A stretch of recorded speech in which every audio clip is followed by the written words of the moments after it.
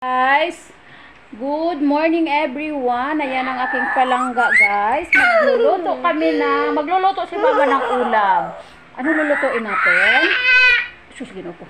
Magluluto kami ng ginataang manok with kalabasa at an malunggay at saka pichay.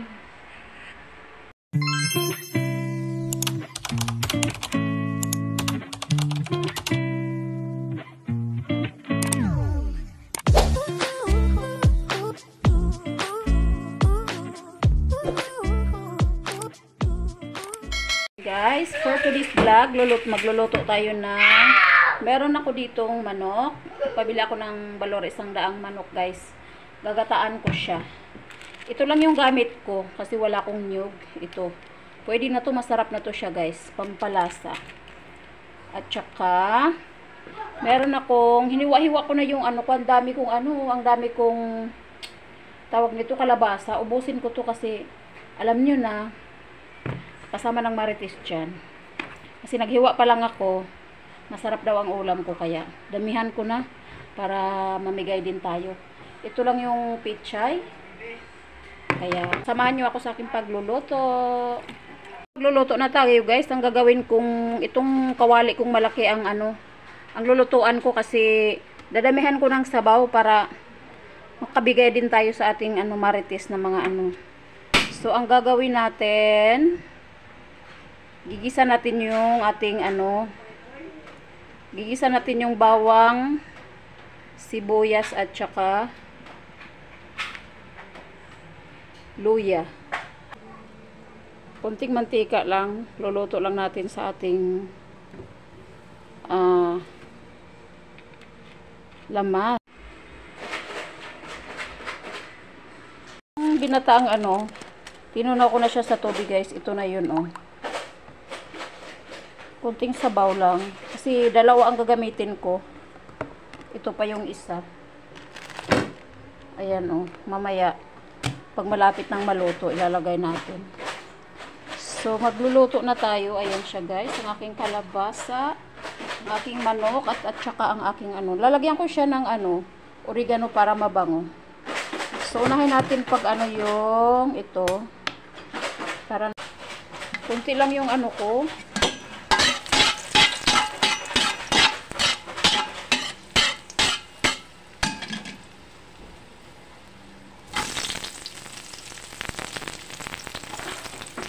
Aray.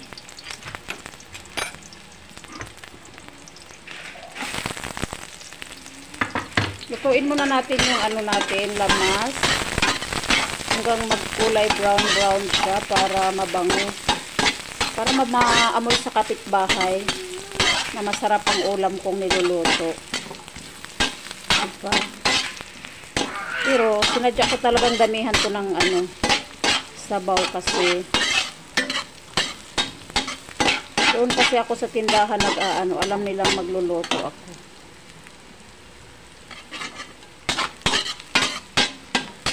Mabango. Mabango talaga ang luto pag may luya. Ang luya kasi ay pampawala ng ano lang sa sa manok. Sarap nito guys. May, may manonood na naman ito na magugutom. Bago natin ilagay yung gata natin, yung unang gata natin, yung isang balot ng ano, ginataang gulay. Ah, luto-lutuin muna, medyo lutuin muna natin yung ating lamas no. Ano lang to. Lalagyan ko lang to siya guys ng chicken cubes na siya eh. So ayan. Guys, ito na, na ano na siya, oh, na brown brown na. Bango na, mabango na, mabango. So, una natin ilagay ang ating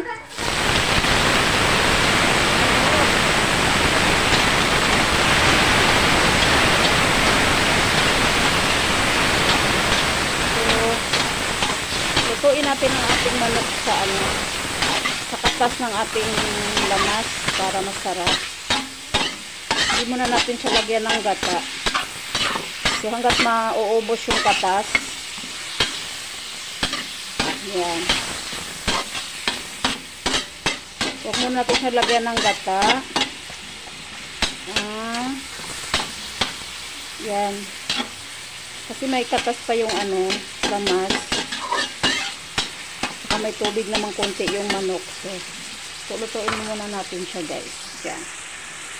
Bago natin ilagay ang gata. Ayan na, ano na siya. Ang bango. Na guys. Wala pa lang yung mga gulay. So, lalagay na natin siyang lalagay na natin ng ano, unang gata para ilagay na natin, lulutuin na natin yung ating mga ating kalabasa.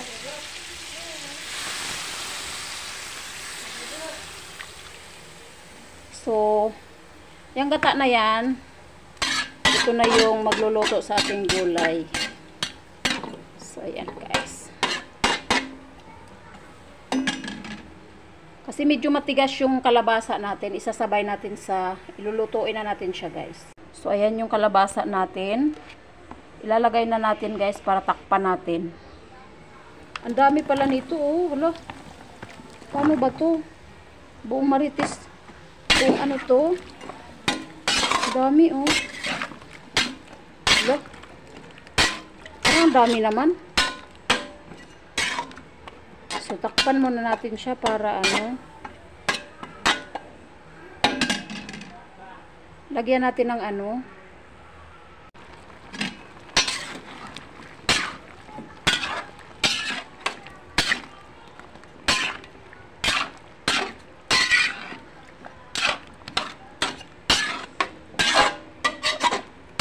Ayan, matigas pa yung kalabasa. Takpan muna natin guys para antayin natin ng ilang minuto maluluto. So, ilagay ko na yung, ay hindi, mamaya pa, isabay ko yun.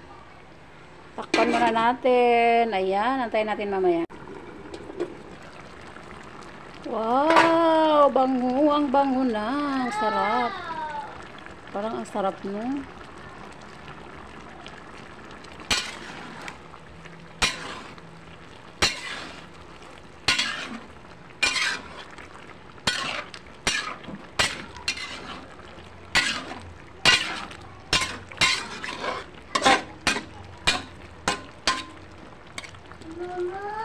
Mamigay talaga ako lang nito sa mga marites kasi. Yes! Kulit ng anak ko. Alam nyo guys, pag naginataan ako, pag gumagamit ako ng ginataang gulay, na ako nag-aasin. Kasi sa ginataang gulay pa lang, templado na siya. Kasi nung time, first time ko nagluto ng ginataang gulay, nag-asin pa ako. Ala, ang, ang, la, ang alat ng luto ko. Kaya ngayon, nung nalaman ko na, hindi na ako nag-aasin. Tapos, pag nag, nilalagyan ko na to siya ng chicken cubes, hindi na ako nagmamagic. Sarap. So, mm, harap. La, agoy ko. Ilagay na natin guys ang ating ano, ang ating, kunti lang yung ano ko, kunti lang yung aking pichay, halagang 10 piso. Guys, lagyan natin ng ano, kilala nyo ba to? Oregano guys. Para mabang. Sinalawang hati ko lang yung pichay ko para maano pa rin. Dapat tanglad ilalagay pero wala akong tanglad kasi. Hindi pa nabubuhay kong tanim na tanglad. Malayo ang tanglad dito. Nandun pa sa dulo. Yan siya guys. Medyo na ano na yung ano ko medyo na ano na yung nadurog na yung kalabasa ko. So ayan. Magtutunaw ulit ako ng isang sachet ng ginataang gulay.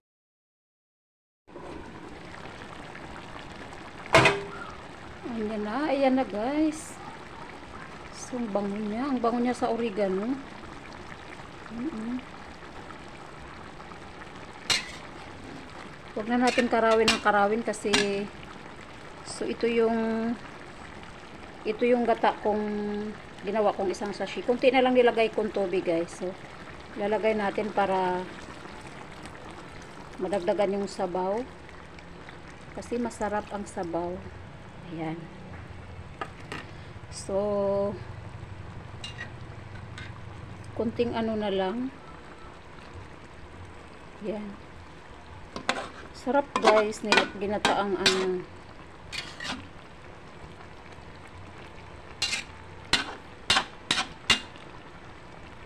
Chicken, ginataang chicken na may kalabasa at ano at So magkano ang ginastos ko nito? 100 na chicken, yung kalabasa 50 pesos, yung pichay ay 10, 160. Plus yung gata, yung gata ko So, nasa ano din, kulang-kulang dalawang daan. Ang dami ng makakaulam nito. So, ayan. Ready to, ano na guys, pakuluin lang natin. Medyo, yung huling gata, lutuin lang natin siya. Mga ilang minuto para pwede na siyang iserve. At,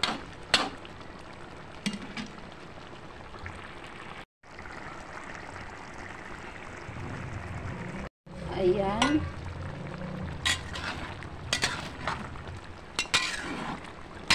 Tama na ito guys kasi sarap na siya. Titikman natin kung anong lasa. Mm. Ah, May ano siya.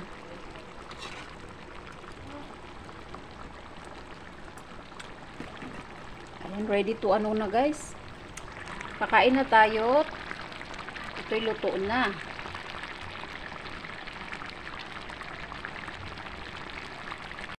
Ayan na siya guys. Nilipat ko sa aking maliit na lagayan. Ayan. Ito na yung ah, ano ko. Ito na yung ulam ko for today. O, di ba? Okay, ready to eat na siya guys. Thank you for watching sa aking vlog. Don't forget to like and subscribe to my channel, Adventures of Zacarias. Ayan guys, kainan na. Yummers! Bye-bye!